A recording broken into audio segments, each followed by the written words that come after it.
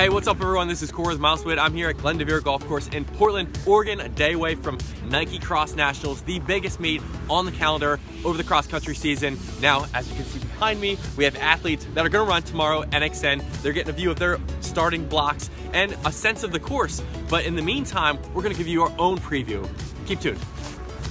One thing to keep in mind on Saturday is that it's going to be muddy and wet. It's obviously going to be rainy on Saturdays, so athletes might not have their best races. It might not be super fast, but we're going to have some premier performances. And let's talk about the girls race where North Rockland's Katelyn Tuohy out of New York, she is the favorite in this race but she's going to have quite a contest. McKinney North's, London Culbreath from Texas is definitely going to be up there with her.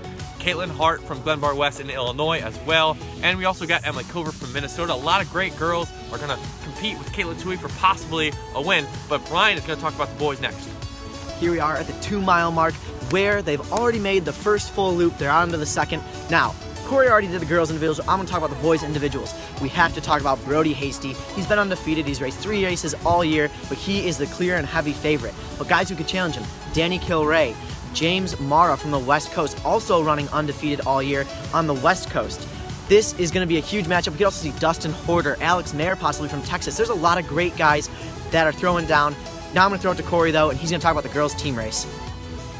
All right, and we just got to break down the girls' team competition. We got to start with Fayetteville Manlius out of New York. They've won 10 of the last 11 NXN titles. They are the favorite here, but they got to watch out for a California team, Great Oak. Probably their, their best competition at this meet, but Great Oak's coach, Doug Soles, did say earlier on Friday that it's going to be hard for this team to compete with the conditions right here. Grass, wet, muddy. New York's battled on muddy courses all year long. They On their state championship course, it was muddy all the way around. So FFM definitely has an advantage here, but we also have Wayzata girls and the Naperville North girls to, to, keep an eye on. Those two programs have been really great all season long. Wayzata's had a really great November, so they could be a sleeper pick to win it all. So stay tuned for Brian on the boys team.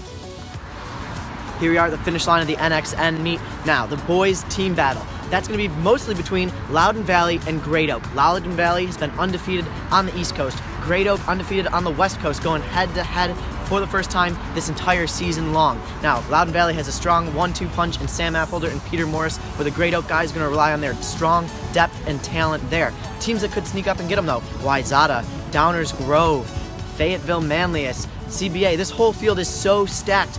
This could be anybody's race. We're excited for it. Going down tomorrow. Keep everything locked. Milesplit.com for results, photos, interviews, and more.